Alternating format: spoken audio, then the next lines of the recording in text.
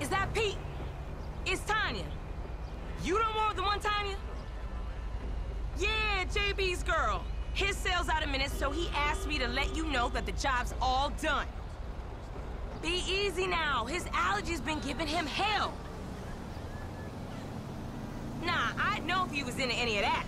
Cold 40 and a redwood, maybe a fat one on the weekends. That's as far as it goes.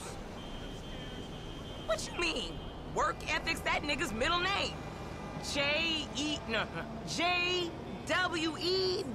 or whatever, you feel me? He don't have step. You seen the style I put out. I wouldn't be with no deadbeat. I'll tell him. Don't you fret now, work will get done.